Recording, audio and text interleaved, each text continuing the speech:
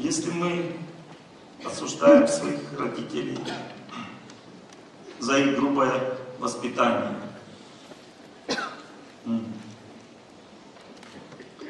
будут ли нас наши дети тоже за что-то осуждать? Конечно. Ведь не факт, что мы все правильно сделаем. Конечно, не факт. Как этого можно избежать? Смотрите, интересно.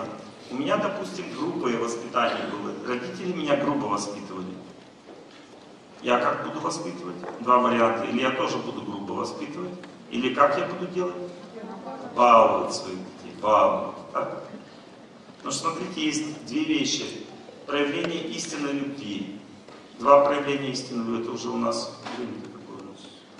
Еще три минуты на начало. Проявление истинной любви, смотрите. Первый вариант. То есть один вариант только. Строгость, строгость и нежность человеку одновременно. Строгость к ребенку и нежность одновременно. Когда возникает? Когда ты не относишься к нему как к объекту наслаждения, а относишься к нему как к тому, кто дан тебе по судьбе Богом для того, чтобы из него сделать человека.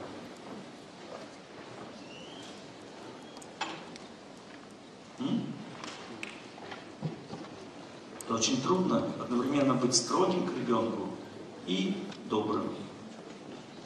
Или ты строгий, означает грубость, или ты добрый, означает баловать.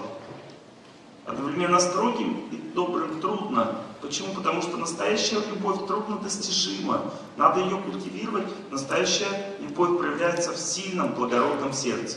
Сердце слабое означает, хочет наслаждаться ребенком, целовать его в попу. Смотрите, какой он хороший у меня. Настоящий этот ребенок Индиго. Настоящий. Он у меня необычный, мой ребенок. Не как у всех остальных.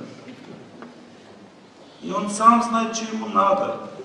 И не надо мне ему особо его воспитывать. Все у него и так хорошо, у моего ребенка. Такой идеальный у меня.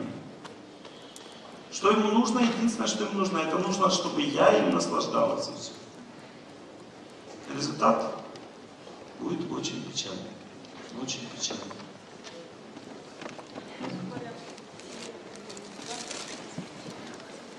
То есть до 5 лет надо наслаждаться ребенком.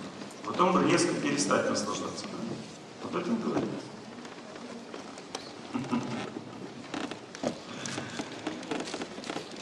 Женщине невозможно объяснить, что надо ребенка воспитывать и не наслаждаться.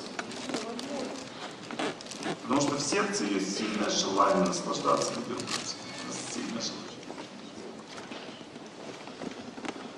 Но если женщина честная, то она это желание направляет в правильное русло. Любое желание можно использовать как хорошо, так и плохо в своей жизни. Если ты сильно хочешь испытывать счастье в отношениях с своим ребенком, ну тогда сделай это правильно. Сделай это правильно. Для этого целая лекция у нас сегодня будет. Потому что без знаний невозможно ничего сделать правильно. Только знание дает человеку возможность жить правильно. Смотрите, в нашей жизни все соткано из испытаний и соблазна. Все абсолютно. Куда бы мы ни взглянули. Так устроен этот мир. Но есть знание, как жить правильно. Может быть, это знание сегодня здесь будет звучать, а может быть и нет. Это ваша уже оценка будет ваша.